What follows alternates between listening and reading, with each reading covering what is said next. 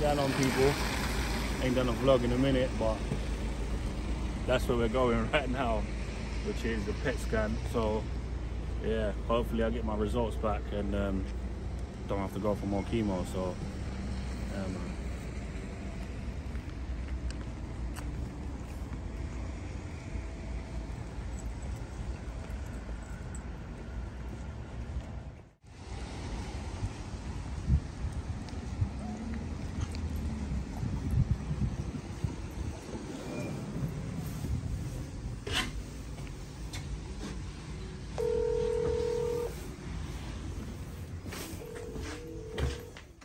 Right, people.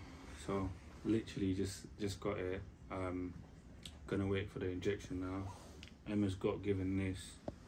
Um, it's basically for the radiation to what is it? It's a bleeper, I presume.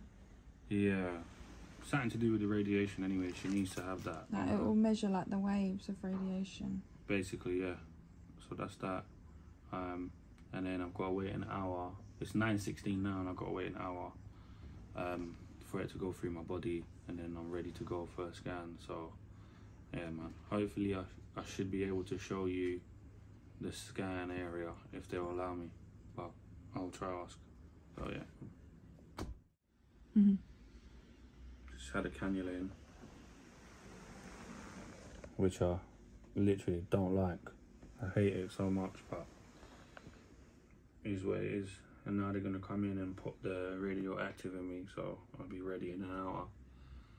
So yeah, I don't think I could record as well um, in the room, so I'll do a little video once I'm out.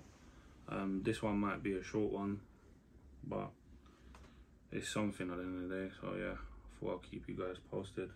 I'm not happy about this though, at all.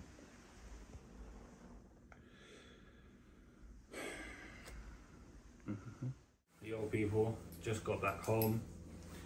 Uh, shit experience really, hate going in that tunnel. Um, but I've done it, I'm just gonna wait for the results now. And then, um, yeah, hopefully I don't go back to hospital on the 18th, which is Monday. So thanks for watching guys, thanks for all the support, thanks for all the love.